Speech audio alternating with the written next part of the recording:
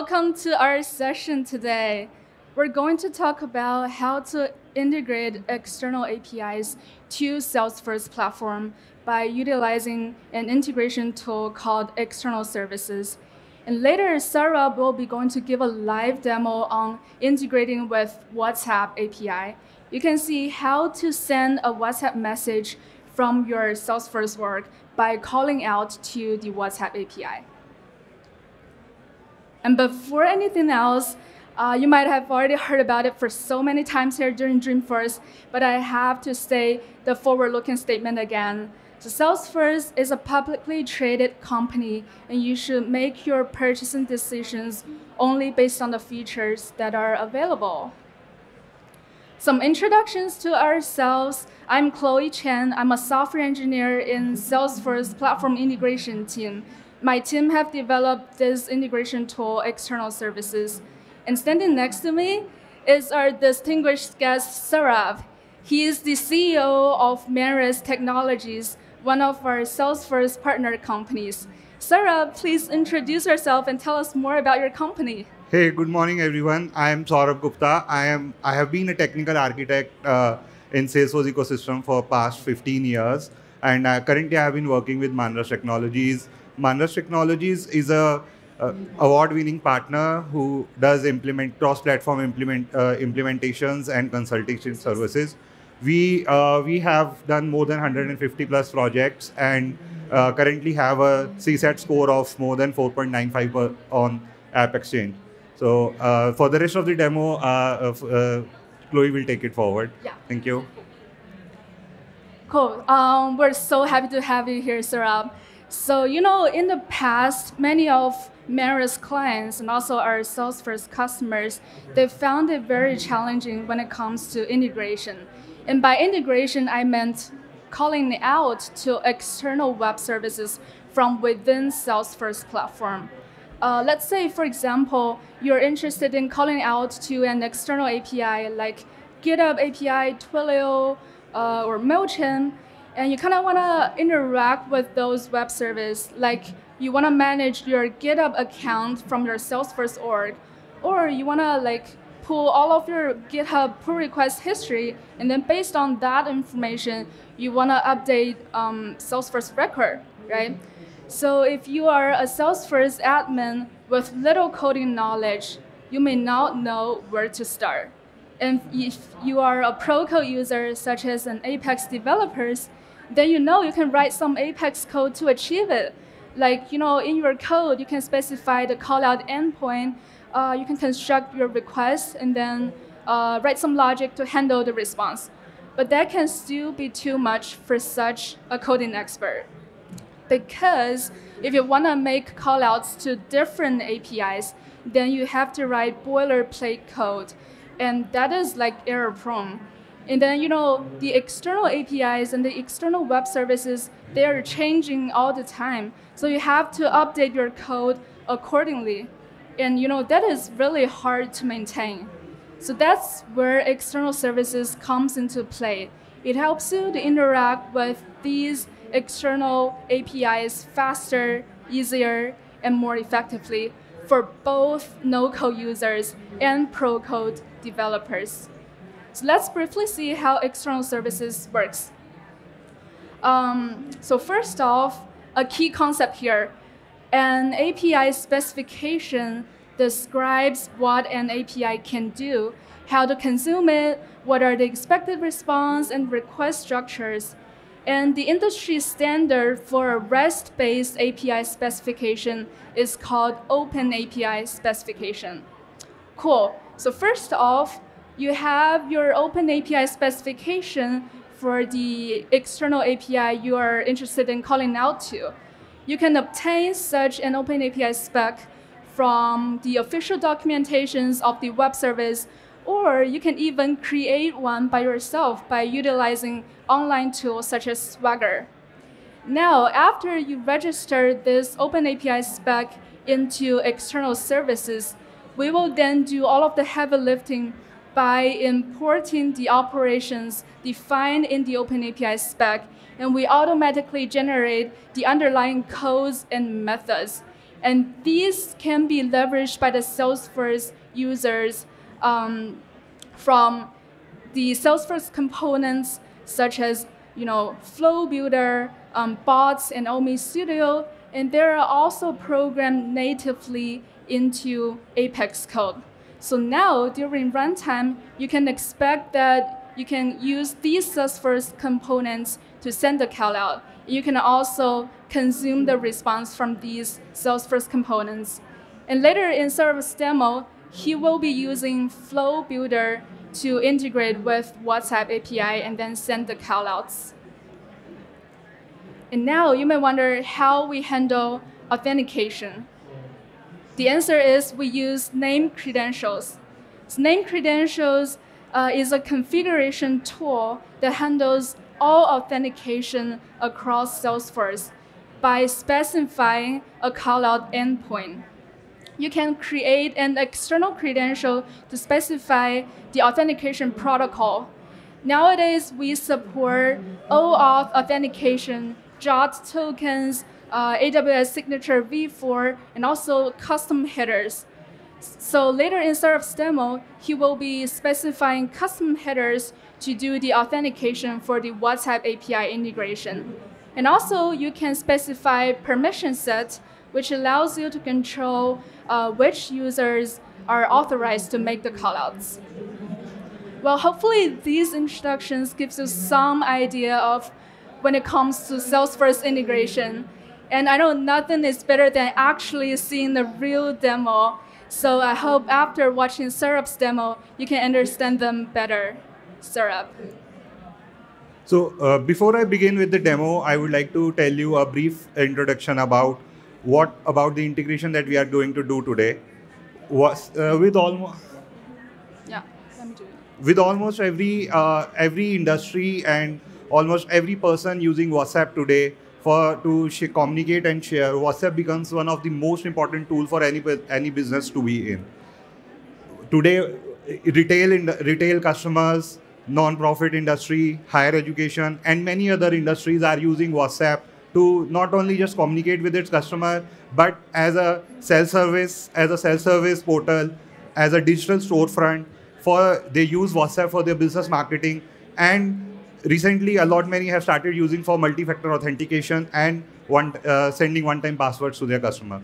So I I really think, don't you think some, something as exciting as this can be integrated with Salesforce in just a few clicks and in a matter of minutes? I am. So I'll just start with the demo.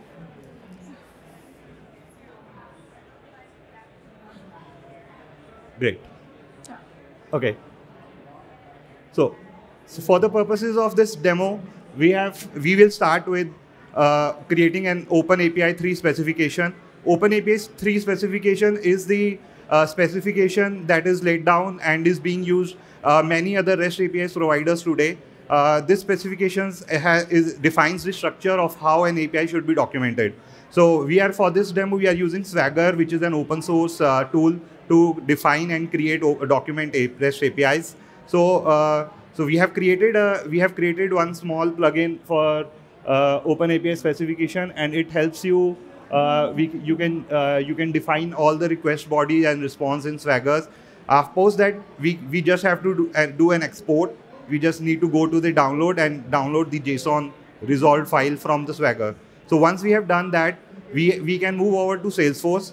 Uh, at Salesforce, we what we need to do is we need to create name credentials. So name credentials, as uh, Chloe has mentioned, is one of the most secure place to do to set up your external credentials. So uh, how we set these name credentials up, uh, we can discuss this later. Uh, but for now, we have created a name credential and uh, that integrates with WhatsApp and provides the required authentication. Post that, I will we will go ahead and set up the external services. So I'll click on external services and I'll click on add. So once so for this demo, we with using external services, you can also use MuleSoft APIs to integrate, or you can provide the JSON resolved file that we have downloaded from Swagger. For the purposes of demo, we will use the API specification that we downloaded. We can just give any name. We have to choose complete JSON and and the external uh, name credential that we just created, just I just referred to in the previous step. So I'll paste the JSON that I downloaded from uh, Swagger. Now once I have pasted the JSON, so I will click on next. What external service is doing in the backend, it recognizes all the actions that the external services was defined to do and identifies all the requests and responses from it and shows us all the operations. There could be hundreds or thousands of these operations in an external API definition. So for the purpose uh, of this demo, we only have one. But if even if there are hundreds of definitions, we do not need to move forward with all the definitions. We can choose what all operations we want to use in our current uh, integration. So when I click on, uh, I selected one of the operations, I clicked on next. So as soon as I click on next, for all the definitions that we have chosen, uh, Salesforce will show us what all what all request and response is expected of the uh, API, and we can just click on finish. So click on finish will create an external service uh, in Salesforce. With the matter of in the matter of minutes, it will also create all the Apex classes. Sorry, uh, it will also create all the Apex classes uh, dynamically. So just just see how quickly an external service has created all the Apex classes, which in in a in a normal scenario it would have taken us days or in fact weeks to identify and create. So uh, so this is the power of external service. Now for the current demo, we will be we will be sending a WhatsApp message to one of our contacts. So for that we will create a flow, uh, a flow that will call external services and send the message through. So I have a demo flow ready. So yeah. So uh, so in this flow, uh, what we are doing is uh, based on the quick action that will call the external services, uh, the the flow it will pass the record ID and we will fetch the phone number of the contact. Then what we are doing is we are just mapping all the parameters, all the all the parameters that were created as part of external services using uh, uh, classes we will pass all the required parameters in the template. Done. And next, the only thing that we need to done is call the action that was created again as part of external service. So even even an admin who has no knowledge of code, who has no knowledge of uh, uh, writing Apex, can set up an integration with WhatsApp or any other API provider for that matter. Click on done. I will, I'll just move to the contact so for this, con- uh, so I already have a contact set up. I have some, uh, I have provided the mobile number for the contact, and I'll just click on send WhatsApp. So as soon as I click on send WhatsApp, so it calls the flow in the backend as the flow has been executed. So if you will see in my in my WhatsApp, I have received a message immediately from the flow. I think that's with the demo, uh, Chloe. Thanks for your time. Yeah. Uh, uh, please. Yeah, that was yes. yeah, that was an amazing demo. It's like always fascinating to see how like with just a few clicks you can just talk to your WhatsApp friend from your Salesforce org, right? So that is that is wonderful. Thank you so much. So I would like to um, yeah. I would like to um, show you some considerations uh, in Saurabh's demo. So if you notice, he registered one um, Open API spec WhatsApp API, and then that counted as one external service registration. And we allow you up, uh, register up to 150 of them. So you can register one API for WhatsApp, one for Twilio, one for GitHub, and you know, you can also register multiple different versions of the WhatsApp API. And then uh, if you still remember, he selects one operation that is called post message from iPhone. And actually, there can be a lot more operations defined in one open API spec. And we allow you to select up to 1,250 active operations. So you can select all of the operations you are interested in calling out to. And same for the active objects. So he quickly shows the, the Apex classes page. And then you might probably see that there are multiple different Apex classes generated for this WhatsApp API. Those objects are created for um, requests and response parameters when you make the callouts. So they are kind of like the different data types that are needed for making the flow callouts or Apex callouts. And some additional features to know, we support OpenAPI 2.0 and 3.0. And what he shows is the OpenAPI 3.0 standard. And you can also distribute your external services in a package. And also, Saurabh shows the like kind of like the no-code solution by using Flow Builder. But you can also leveraging those generated Apex classes for Apex developers. They will help you to write your Apex code easier when you want to make external callouts. And in the end, I want to highlight some of our external services roadmaps. So in the last release, summer 24, we enabled calling out to MuleSoft invocable actions from a flow orchestration. And we also extend the editing capabilities for HTTP action callout to um, support all of the HTTP methods.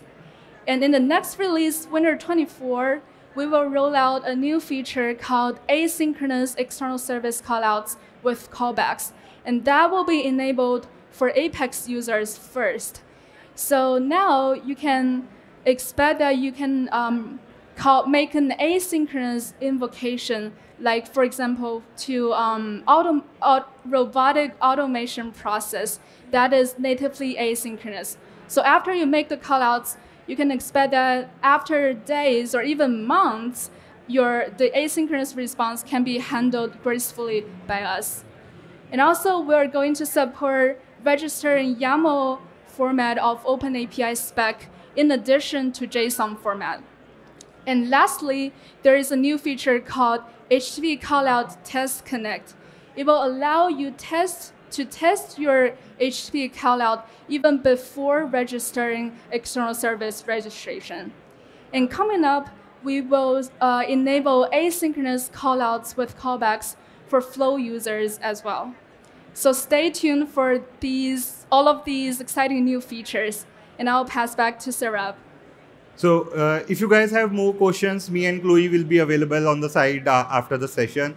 And you can also reach out to uh, manras.com to uh, if you have further questions and probably need any of any of the help with external services.